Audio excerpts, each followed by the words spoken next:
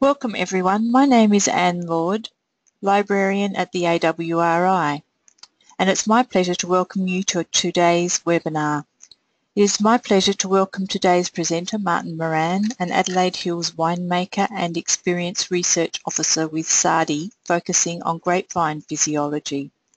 In this webinar, Martin will discuss the impact of temperature and pruning time and its interaction on wine chemical and sensory attributes. Before I hand over to Martin to get us started, a couple of quick notes on what to expect from those that are new to AWRI webinars. The format for today is a short presentation followed by a Q&A. The webinar is being recorded and will be available to view via the AWRI website. It is important to remember that webinars are interactive and that there are a number of ways to get involved.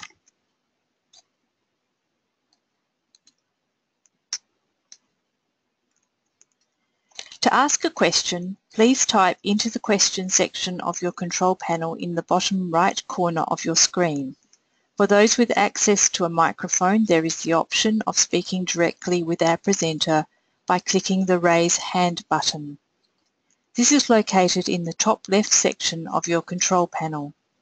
Please feel free to send through questions at any time and once we get to the Q&A, I will get as many questions through to Martin as possible.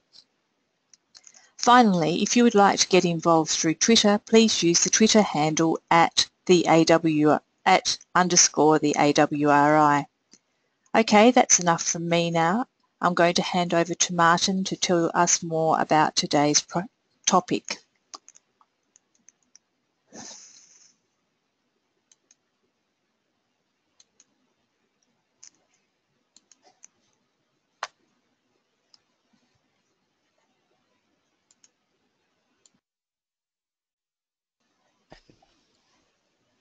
Thank you, Anne, for, uh, thank you, Anne, for, for kind the presentation. Um, welcome everyone. Uh, I'm going to run this presentation on the impact of the running time and temperature on one attributes. Um,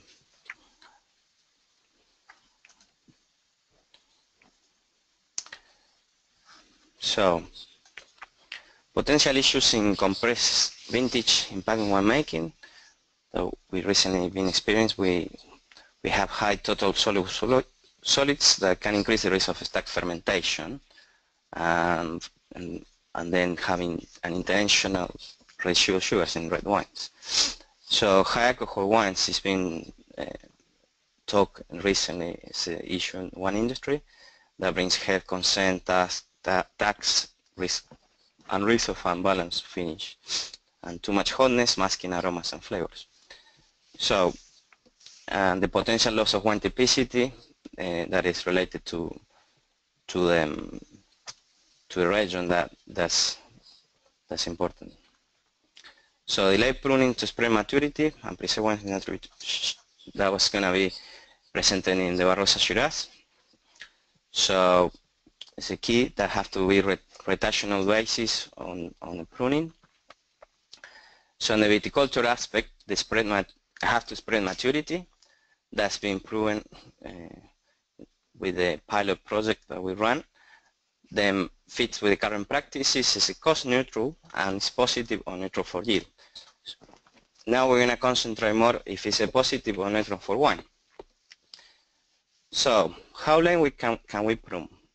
So with uh, Paul Petrie set up this uh, pilot experiment back in 2011, basically pick five times um, and determine that the latest pruning that we can pick, it was two, three, four, and for the leaves. After that, it was detrimental for, for the yields. So based on, on, on, this approach, we, we set up uh, two experiments in the Barossa Valley. So just quickly, I'm going to describe these experiments. Um, so was one in Walton trial, which is a commercial scale, ran for four seasons and we might want two season this trial. So the three point dates were done in winter at Bears and two three leaves over repeated seasons. And we had an experiment in Nuriootpa, which was a combination of three pruning dates with two thermal regimes, heated and ambient. So on the right bottom corner, there's a photo of the heated treatment, which is actually an open chamber where we hit the vines. So as I say, wine was made in two seasons, 2014 and 2015 from both trials. Before I move into, into wine, uh, this is an example that a spread of maturity that in one year we had a Nuriootpa, that's for research station uh, at, at, the, at the ambient temperature. So we had the winter rich uh, reach uh, maturity of total soluble solids at 14 moment, about 16 days before uh, two free leaves. On other words, was um, harvest was delayed by 16 days on the latest pruning, which was two free leaves. Um, this is a photo taken in Walton Vineyard, and there's a nice contrast with the winter pruning on the left, where you can observe probably shoots about 50, uh, sorry, about 30 centimeters um, EL15 for um, phenology scale. And on the right you can see the budburst pruning, which just starting to, to grow. So the one making, we follow a protocol. I'm not going to go through all the protocol, but there were about 10 liters 10 liters demijohns per repetition of, of the fill. Um, did a malolactic fermentation, the wines were settled, uh, and after three months was a wine sensory and chemical analysis done to, to, the, to the wines for each vintage. So that's again in 2015 in Walton Vineyard. Uh, in the 23rd of February, winter already was harvested, but I, had a chance to, to, to take the photo and compare uh, the shriveling effect on the winter um, where we achieved some delaying effects by delaying uh, pruning into free leaves the, the bunch is still looking healthy and, and, and juicy. So we're going to concentrate now on the Walton experiment, which was in a large, large commercial vineyard. So we ran a we made once in 2014 and 2015. Um, just just look the dates of picking here they were quite different between vintages. So 14 was actually delayed by by rain events. and we ended picking in March, which is unusual for Barossa Valley to pick that late. And then the contrast on 2015 was actually very warm, and that's when we go back, that's when we got this shriveling effect and, and rapid, rapid ripening. So it was about a week of difference that we can delay the harvest. And that's just to show the, the, the wine have similar alcohol, though we have to do, did, we did some dilutions for the second vintage. Um, and, and we have some some issues with uh, sugars on the winter actually because so true. Anyway, I move to the next slide. Um, from previous uh, experiments, we, we, we noticed that elevated temperature decoupled anthocyanins and sugars by delaying color development in a Brix scale. So if you look the graph on the left, in a Brix scale, uh, when, when we had heated treatments, was in the past experiment. Um, the anthocyanin development got shifted when it was heated to the right. So basically, the, the, key was the onset of development of, of anthocyanin uh, was being shifted by temperature. So when we run this, the pruning treatment, uh, late pruning treatment, we realized they actually the electron partially reverse its effect. So if you look on the graph on the right, it looks like by delaying on two free leaves, the onset starts to develop earlier on, on anthocyanins concentration. So what's interesting finding that late pruning improved anthocyanin to sugar ratio on the berries. So when we finally look moving into the wine, when we look at the wine phenolics for Walton, uh, it was consistent the, in both vintages, 2014 and 15, that increase of, of anthocyanins. So on this graph, we're showing um, that P, P, PT means uh, pruning time, the V is vintage, um, and interaction between pruning time and vintage. So the, they were all significant for the two vintages. Um, so increased anthocyanins, also increased the tannins and late pruning, both vintages, and the total phenolics. So late pruning increased anthocyanins to sugar rich in berries, and this was translating to a higher anthocyanin content in the wines.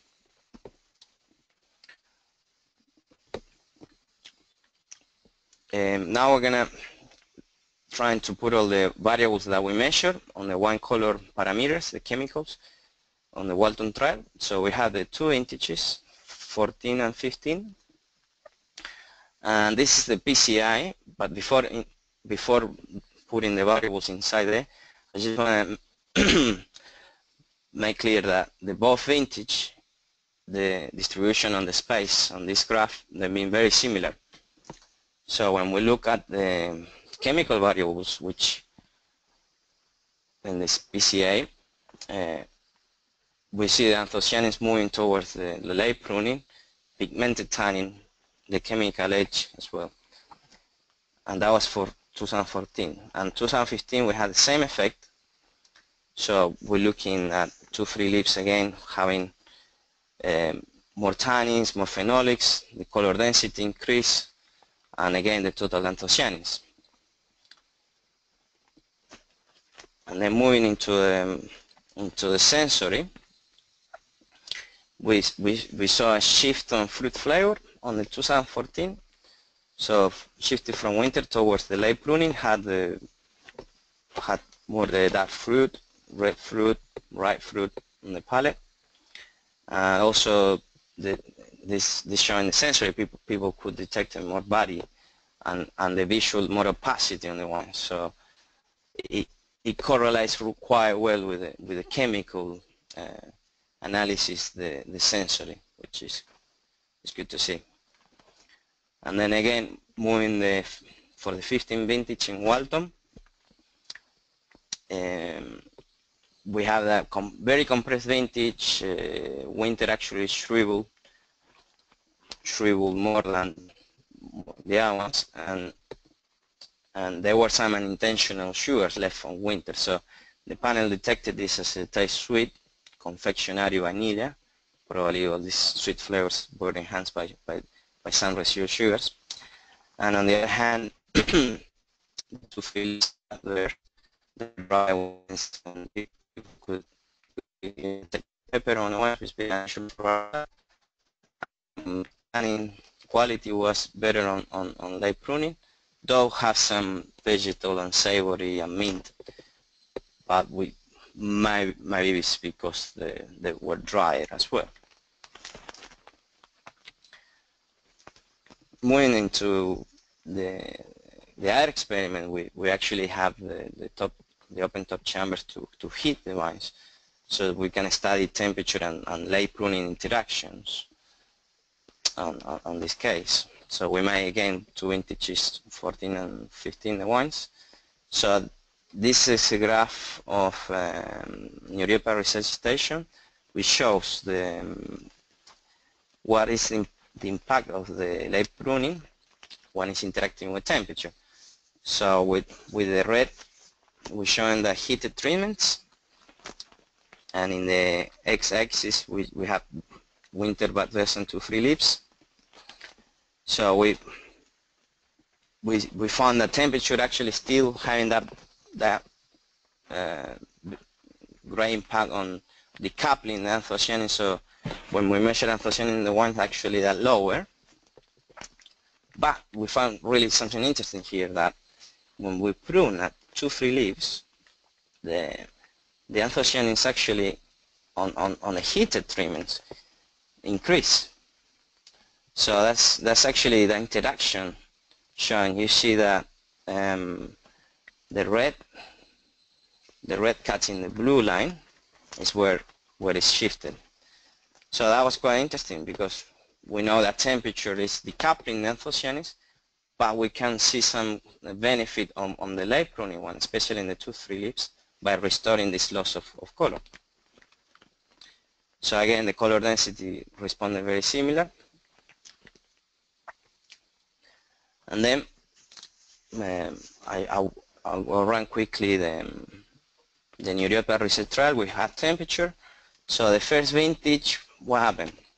The temperature effect actually increased quite dramatically the yields on the vines. So in some respect that delay maturity as well.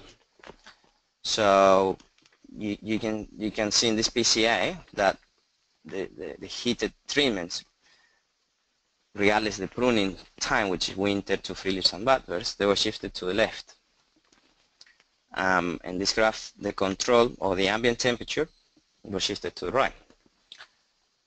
So when we look at the, um, at the chemical analysis, so basically that temperature effect was uh, dominant um, we couldn't see a lot of difference on the on the pruning effect in this vintage because was override by the temperature effect. Anyway, the, the total anthocyanins was higher on ambient temperatures. It wasn't a lot of difference between the prunings, but the color density particularly was uh, higher on budburs, and the pigment and tannin was uh, and the tannin were higher also in the later prunings. So that, that was some interesting impact that was consistent what we found in, in, in the Walton vineyard.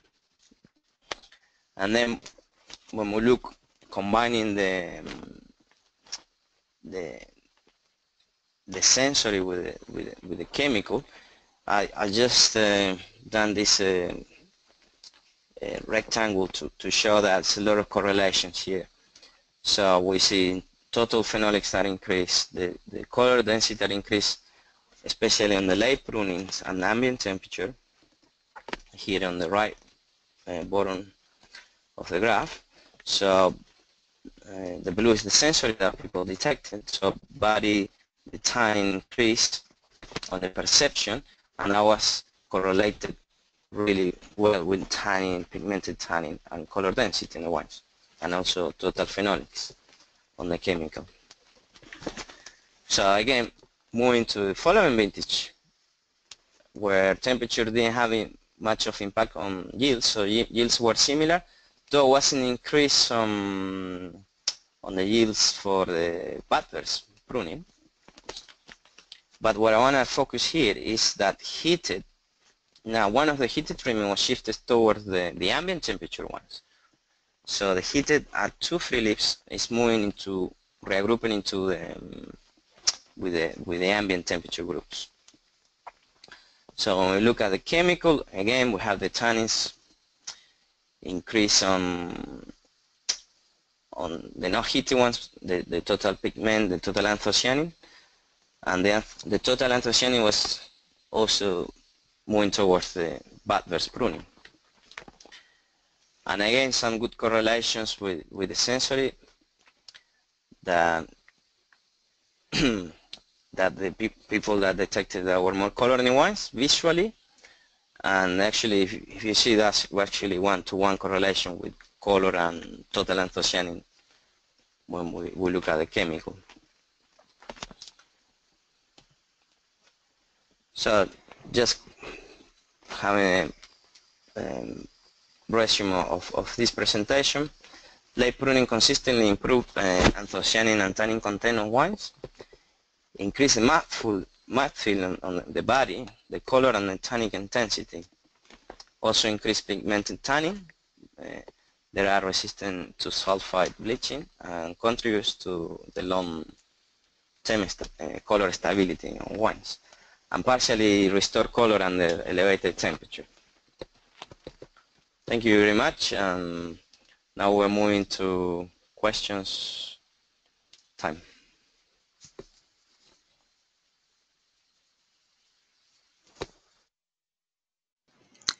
Thank you, Martin. Just to reiterate, to ask a question, please type into the question section of your control panel in the bottom right-hand corner of your screen. For those with access to a microphone, there is an option for speaking directly with our presenter by clicking the Raise Hand button. This is located in the top left section of your control panel.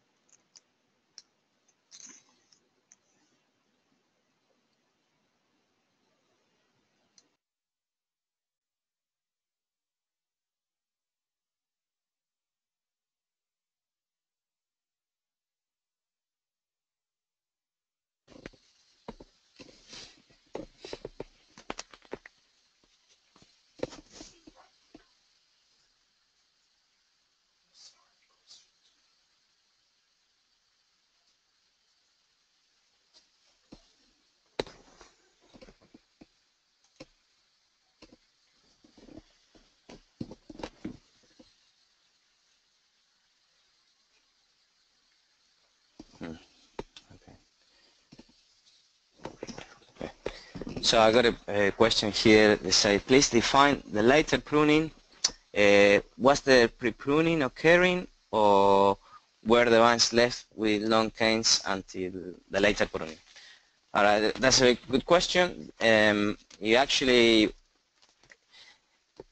uh, at the commercial vineyard, because uh, running commercially, they're actually pre-pruning just before the, the, the pruning by hand at uh, 2 per pruning, um, 2 watts per pruning. Um, so yeah, it's better better to leave the canes and then run. You you you could run the um, the pre-pruning a, a, few days before. That's fine, but and because that some studies show that that the delay on on the basal buds they're actually set up much earlier than than than a few weeks before you you move into bud So I don't I don't see any problem by doing it a few days before.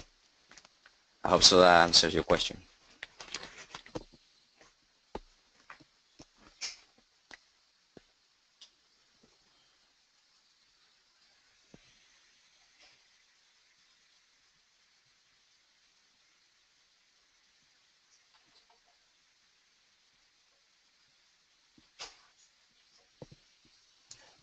Uh, are these slides available to download? And secondly, can this be implemented with other pruning methods? Yeah, that the the slides, the presentation will be available in the AWRI website. Um, Fabiano asked, um, and secondly, can this be implemented with other pruning methods? Uh, would you like Would you like to comment about that question again, because be more specific? Um, but basically, what what we done was just delay the pruning. Uh, spare, we're talking about just spare pruning.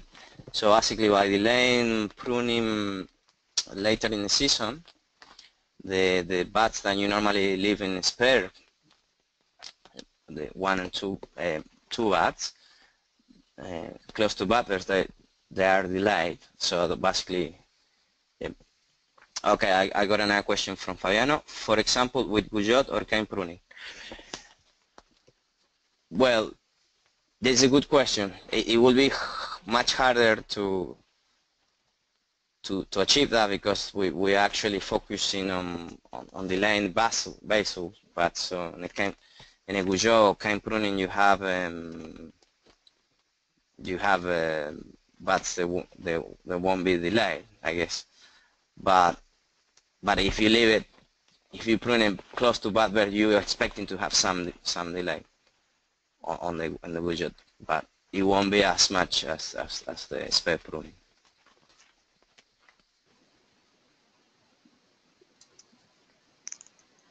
Uh, Chris, I noticed you've got your hand raised. I'm just unmuting your microphone if you'd like to ask the question now. Thank you. Just following on from the, the question about the pre-pruning, um, you, you, say as long as it's within three to four days of the follow-up hand prune, do you know more about because we do tend to sometimes pre-prune several weeks before the, the final prune.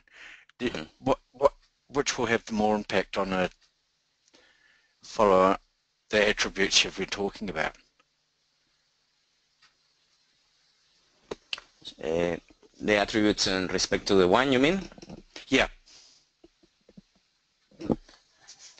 Well, if if you prune if you pre-prune earlier, you mean? Yes. Yes. Yeah.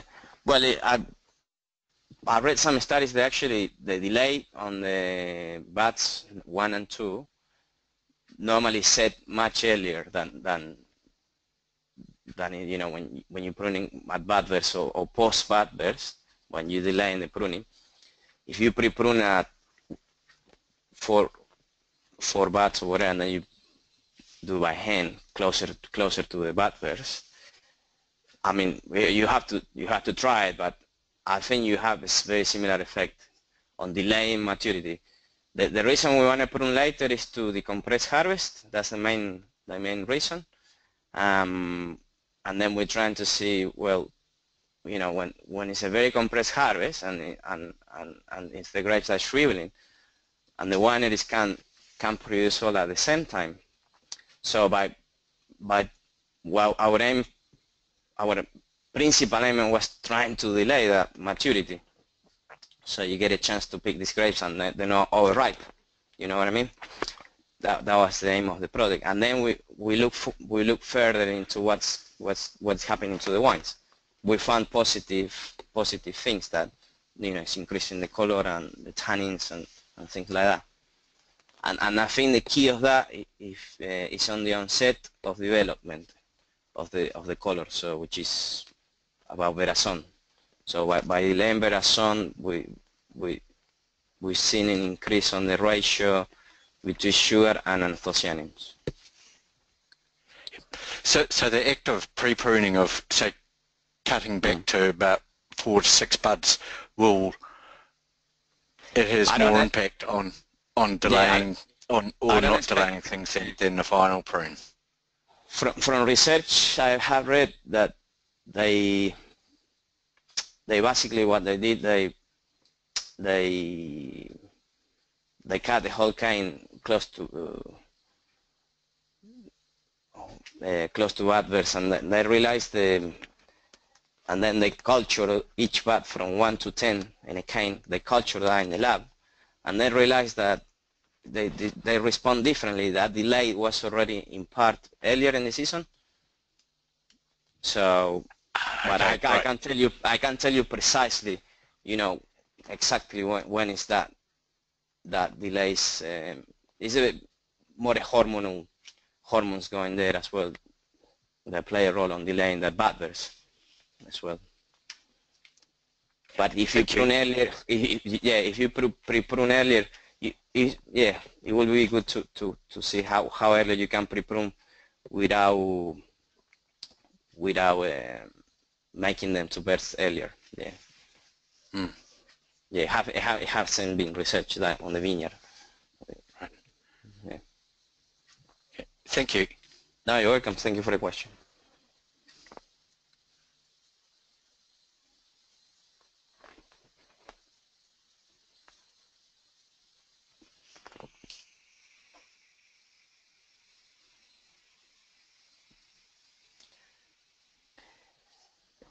Okay, I'm going to read a question from Lutza Schultz.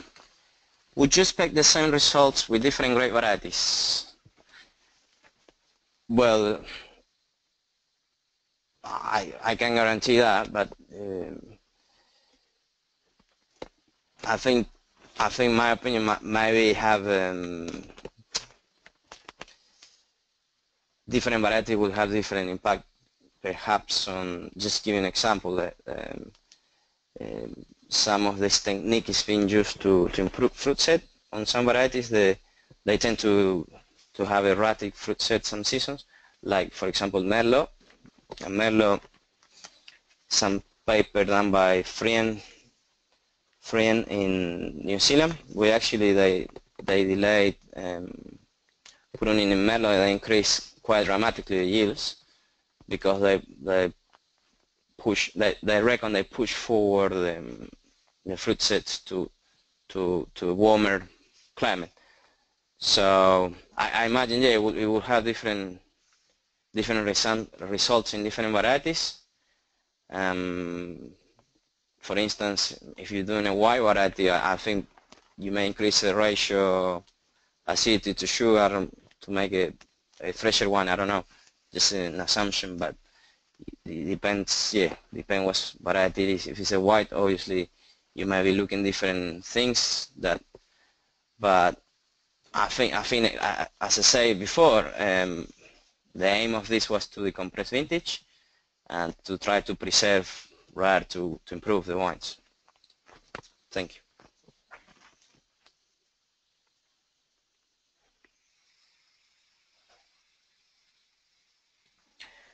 I read the next question from Leonard Russell. Uh, was soil temperature recorded or considered? We have measured some soil temperature at Rioja one season when because we have heated panels. Um, we have we we've seen some increase on soil temperature when we heat the vines with the panels but we haven't we haven't measured directly soil temperatures for this project. We we we are more interested in in in see that if we can delay maturity by by delaying the bud burst. So now we we haven't we haven't considered soil temperature at this stage.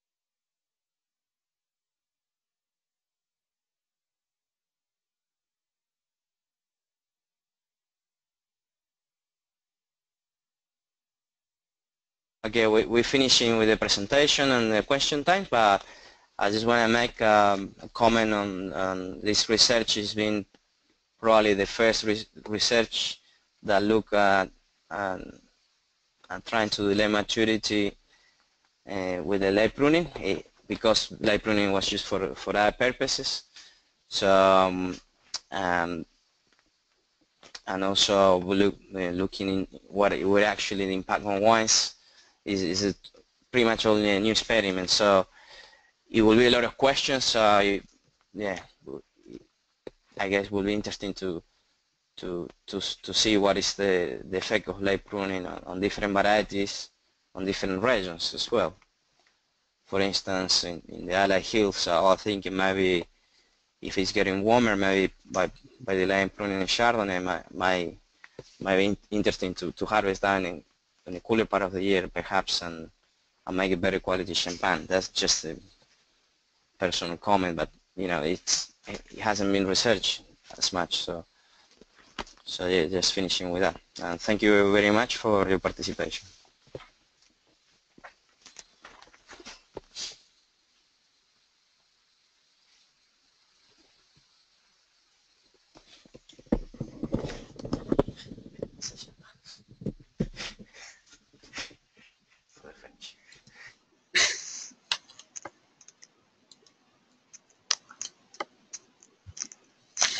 Thank you, Martin, for presenting today, and thank you to everyone who attended and took part in today's session. For, for attendees, you will receive a follow-up email with a link to this recording and a link to a survey. The next AWRI webinar is on 25th of August, where Adrian Coulter from the AWRI will present on stuck ferments. If you would like to register for this webinar, please visit the AWRI website that's all we have for today. Thank you for attending and I'll look forward to seeing you again at the next AWRI webinar.